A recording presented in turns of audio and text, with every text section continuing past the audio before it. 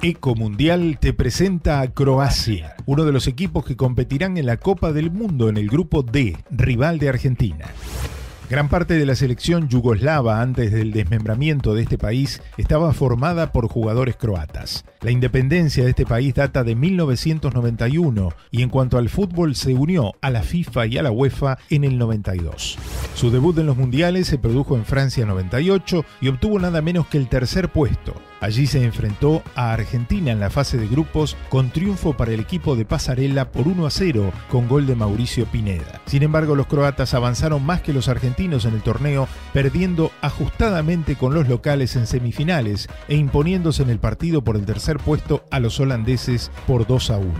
Su gran figura fue el goleador Davor Zucker, que fue el balón de oro de ese mundial con seis tantos. Sin embargo, no pudo volver a repetir buenas actuaciones en los torneos siguientes. Se fue en primera ronda en Corea, Japón y Alemania, no clasificó para Sudáfrica y otra vez primera ronda en Brasil 2014.